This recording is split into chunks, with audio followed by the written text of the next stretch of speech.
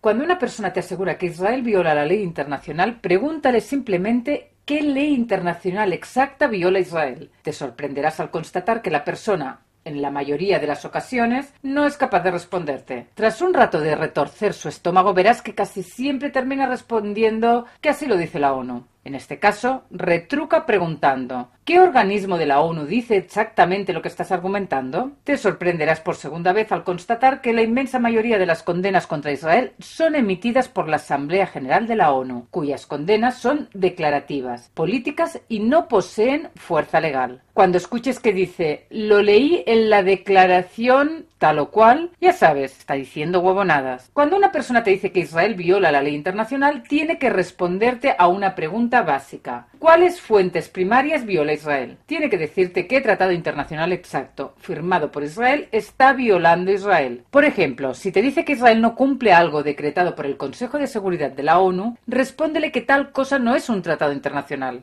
Es simple. Si un país firma y confirma un tratado, lo debe cumplir. Y ningún país está obligado a firmar un tratado. La segunda fuente primaria del derecho internacional es la costumbre. Por ejemplo, si se ha transformado en costumbre que todos los países hagan algo y esa costumbre es consciente y se ejecuta en la práctica, entonces se debe tomar en cuenta. Por ejemplo, si decenas de territorios en el mundo no son considerados ocupados, aunque están ocupados en peores condiciones que la que Israel impone en territorio C de Cisjordania, entonces el argumento suena debilucho. La práctica debe ser uniforme y consciente, no solamente regir contra Israel. La tercera fuente internacional del derecho internacional público son los principios generales del derecho. Los principios es la conducta a seguir en cierta situación o sobre otras normas de ordenamiento jurídico. Por ejemplo, un principio básico es preservar la vida de los ciudadanos israelíes y defender el derecho a la defensa propia para preservar la integridad de los estados. Cuando infinitos portavoces palestinos declaran su deseo de borrar a Israel del mapa y hacen acciones para concretarlo, no es Israel quien viola la conducta básica esperable.